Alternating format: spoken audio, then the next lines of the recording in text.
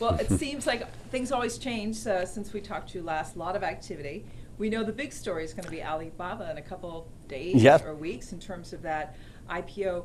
You're going to own shares when it prices, correct? Yeah, we really built uh, this ETF uh, to have a fast track entry on major IPOs such as Alibaba will be. I mean, Alibaba will value the company at the time of the IPO somewhere between 125 to 175 billion dollars.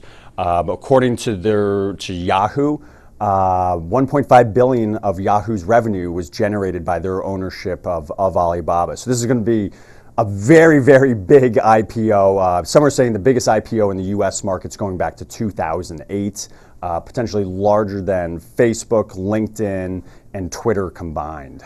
And you're expecting it to do well. Uh, we are. We're very, uh, you know, the e-commerce sector in China is one of the fastest growing sectors, I, I would argue globally. According to McKinsey and Company, it's grown at a CAGR, a uh, compound annual growth rate of 120% for the last decade. And what's driving this growth is one, the continued urbanization taking place within China. In 1980, 20% of the population lived in cities. Today, it's actually over 50%, with a stated goal of 75% as China's urbanized, domestic consumption and the middle class are growing.